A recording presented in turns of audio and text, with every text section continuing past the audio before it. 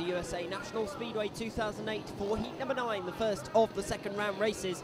And uh, the lineup features two riders who uh, failed to get right in amongst it in their first outing. John Marquez and Tuff McBride go off the standard start line. Mike Bloom, who finished third first time out, he goes off the 10 yard mark. Charlie Venegas behind him finished second first time out, he goes off the 20 yard mark. Bobby Schwartz has the hardest bit of work to do. He's going off the 30 yard mark after victory in heat number one.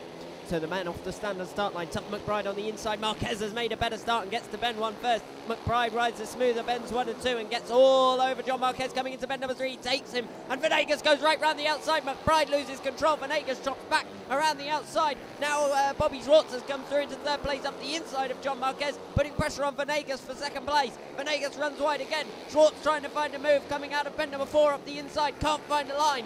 Venegas runs wide again. Schwartz through this time into second position. Venegas back around the outside. Bloom leads it. Schwartz has moved into second place. Venegas had to switch to the inside because Schwartz made a brilliant move up the inside. Venegas really struggling for pace tonight. Bobby Schwartz all over Mike Bloom. Can he find a way through? Bends three and four. Schwartz looks up the inside. It gets very close, but Mike Bloom holds on. Second place for Bobby Schwartz. Third for Charlie Venegas. A great battle in that one. John Marquez in fourth place. Tuff McBride eventually retiring with mechanical problems, and that's disappointment for him. He worked really hard to get a single point first time out, but he's got nothing from his second ride despite being off the standard start line. And uh, that's uh, disappointing for Tuff McBride because it uh, pretty much eliminates him from tonight's championship. He'll have loads of work to do in his final outing if he's going to make those semi finals.